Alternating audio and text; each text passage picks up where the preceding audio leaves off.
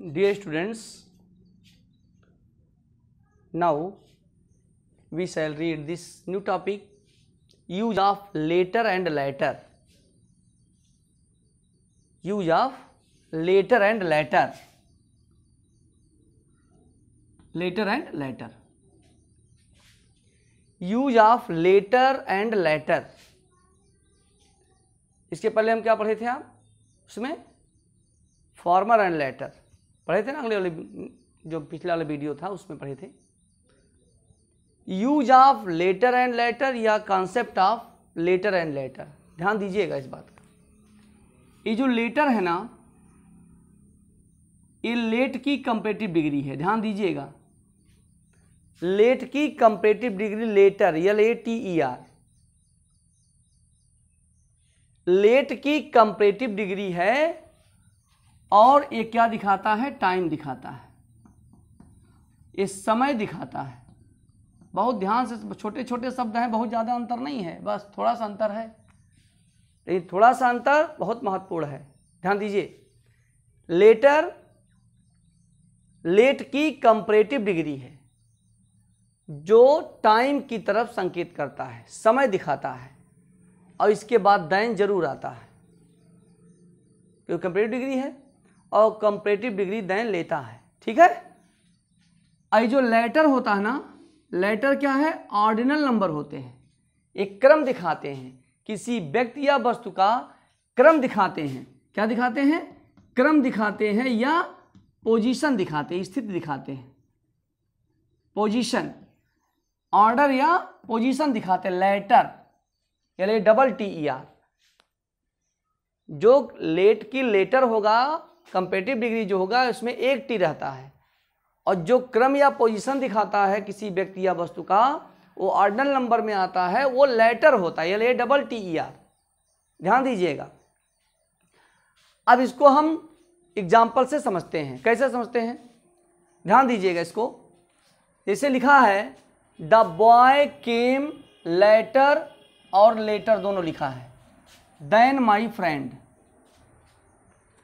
अब इसको आप कैसे समझेंगे? कि ए लेट ए सही है कि ए सही है? कौन सा सही है? आप देखिए कंपेरेटिव डिग्री अपने साथ दैन लेता है। लेता है ना? तो ये तो कंपेरेटिव डिग्री है नहीं। ये क्या है? क्रम दिखाता है।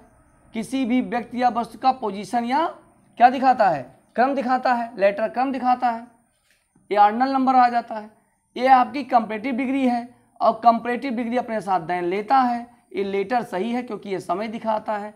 कि the boy came later than my friend तो क्या क्या सही होगा? यल ए टी ई आर ये सही है, ये आपका गलत है। यल ए डबल टी गलत है। बात समझ में आया? दूसरा देखिए। You came later oblique later then he दोनों में से क्या सही है? कॉन्सेप्ट अगर आपको पता है कि लेटर अपने साथ दैन लेता है। जो कंपेरेटिव डिग्री होता है, वो अपने साथ दैन लेता है। तो ये दैन लिया हुआ है, इसके मतलब ये सही है। ये हमारा गलत है, क्योंकि ये क्रम दिखाता है। क्या दिखाता? है क्रम दिखाता है, या पोजीशन दिखाता है, किसका? किसी भी व्यक्ति या वस्तु का क्रम या पोजीशन दिखाता है। क्रम बताने का काम करता है latter L A double T E R और L A T E R जो होता है, ये लेट की कंपेरेटिव डिग्री है, और वो अपने साथ क्या लेगा? दैन लेगा। ठीक है? आप देखिए। दूसरा देखिए। Rice and milk are good sources of energy but latter की लेटर अब इसमें क्रम दिखा रहा है। जब एक ही वाक्य में दो व्यक्तियों या वस्तुओं की चर्चा की गई हो तो हम पहले बताए उसमें तो पहले के लिए फार्मर, दूसरे के लिए लेटर का प्रयोग होता है L A double T E R होता है। अब चूँकि इसमें पहले ही लेटर दिया हुआ है, तब दोनों लेटर में आपको चूज़ करना है कि कौन सा लेटर सही है सही है ये सही है। चूँकि ये क्रम दिखा, इसके बाद दैन आया नहीं है। तो क्या करेंगे? दैन अगर आएगा अभी तब भी इसमें लेटर ही लगेगा। देखिए rice and milk are good sources of energy but latter नहीं, ये तो समय दिखाता है, ये क्रम दिखाता है, ये आपका सही है। Latter is more nutritious nutritious than, आगे लगा दीजिए, देन द फार्मर। अगर आगे लगाना चाहे तो लगा दीजिए। पहले तो फार्मर और लेटर का प्रयोग हो, देखिए समझ में आ गया। फार्मर, लेटर का प्रयोग, जो पहला जो पिछला वीडियो पढ़ा था, उसमें फार्मर लेटर का प्रयोग हुआ था। तो इसको आप समझ लीजिए, इसको जब क्रम बताएगा, क्रम, जब क्रम बताएगा, तब लेटर का प्रयोग नहीं होगा। L A T E R का प्रयोग नहीं होगा। किसका प्रयोग होगा? L A double T E R का प्रयोग होगा। ठीक है? बात समझ में आया? नेक्स्ट देखिए।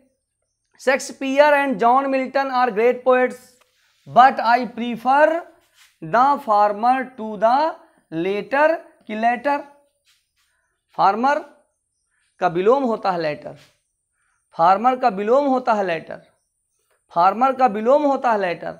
ये लेटर नहीं लगेगा, क्योंकि ये समय दिखाता है। क्या दिखाता है? टाइम दिखाता है। और ये क्या दिखाता है? पोजीशन या क्रम दिखाता है।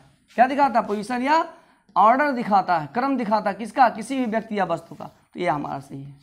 ये हमारा गलत है।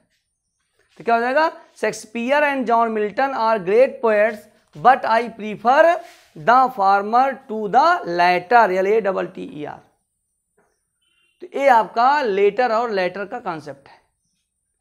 जब आप इतना जानेंगे कि लेट जो है लेटर जो लिखा हुआ है ये समय की तरफ़ इंगित समय को सम, समय का ज्ञान कराता है और लेटर किसी भी व्यक्ति या वस्तु के पोजीशन की या क्रम की बात करता है। पोजीशन या क्रम की बात करता है तो हम यहाँ लेटर लगाएँगे। स्पेलिंग में बहुत सा डिफरेंस नहीं, बहुत ज़्यादा अंतर नहीं, केवल एक टी का अंतर है। इसमें एक टी है, इसमें दो टी है। ठीक है? तो एल ए टी या लेटर कंपेटिव डिग्री है किसका? लेट का। और लेटर क्या दिखाता क्रम या क्रम या क्या दिखाता है? पोजीशन दिखाता किसी व्यक्ति या वस्तु का। ठीक है? बात समझ में आ गया? ये आपके समझ में आ गया होगा? That's all thank you